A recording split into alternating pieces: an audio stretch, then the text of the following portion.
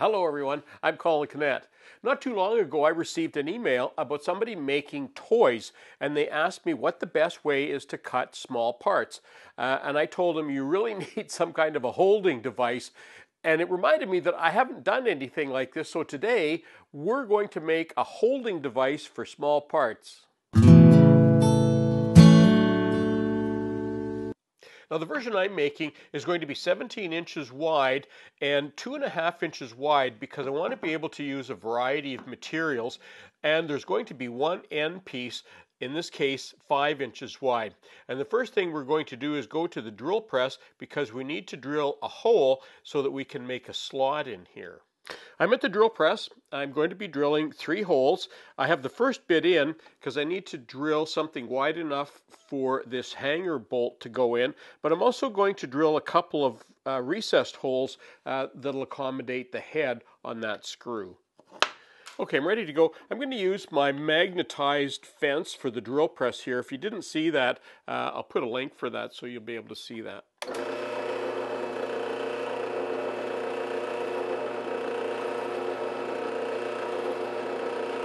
I need to draw a couple of parallel lines here, and rather than trying to figure it out with a ruler, I'm just going to use my marking gauge, and I've already set it up for one side, and I'll just draw a line down it.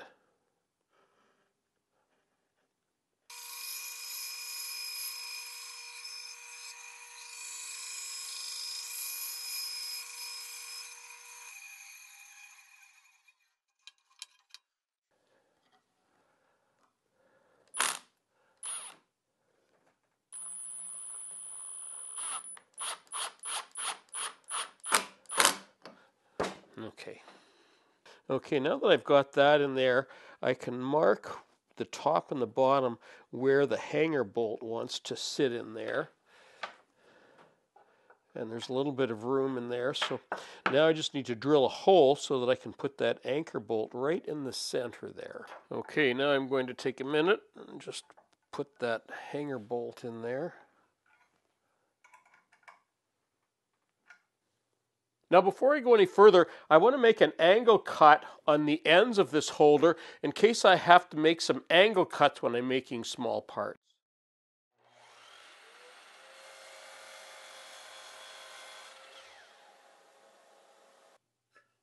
There, that's better. Well, at the last minute, I've decided to change things up a little bit. And here's why. I wanted to use a hanger bolt here, but this is the longest hanger bolt that I can that's available to me, and it's really too short because it doesn't give me very much room in there. So what I'm going to do, I'm sort of abandoning the hanger bolt idea. What I'm going to do instead, I'm going to insert a T-nut on this side and I'll put a bolt through that side. But look at, I'm going to use some ready rod and I'm just going to drill. So I'll countersink this a little bit so that T-nut fits in there. So the T-nut will go in there. A nut will go on the other side and that will be fastened tightly. Then I can put a wing nut on this side and that'll allow me a much greater um, range that I can put smaller pieces in there, so that'll be much better. On my way to the drill press, I came up with another idea, and I thought I'd check it on the table saw.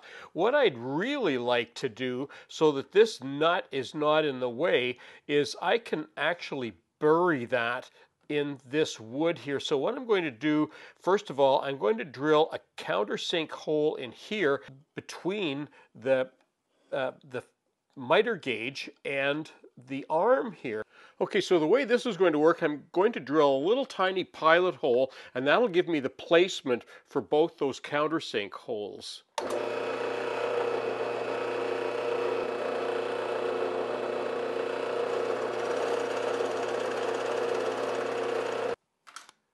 The next thing I need to do is drill the through hole, and that needs to be big enough to fit the ready rod through. And I want to make sure that these don't move around, so I have them clamped in parallel, but I also put some spacers in here so that I drill this hole exactly parallel.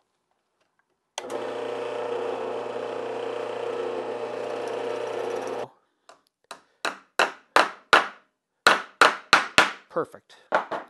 All right, is put the ready rod through there. Now, I'm coming from the inside here. I'm going to use one of these little star washers in here to uh, make sure that I lock that nut on there.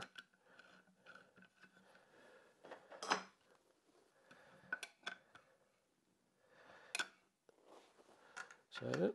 Yeah. There we go. There we go. That slides much better now. All right, let's take that over to the table saw and try it out. So the way this works, this is just going to be my little test piece, is you want to locate the end first of all, and I'm just going to crank that down nice and tight there so that doesn't move.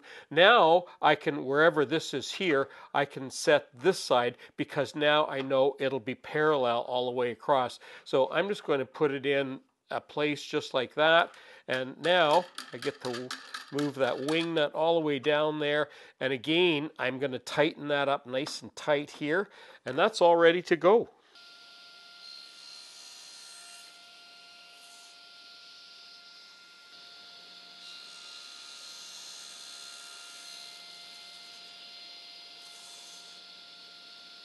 Well, I'm really happy the way this jig turned out.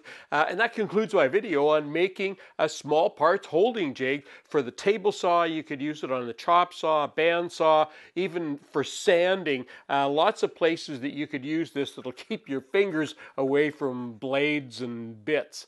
I'm Colin Knecht for Woodwork Web. Thanks for watching.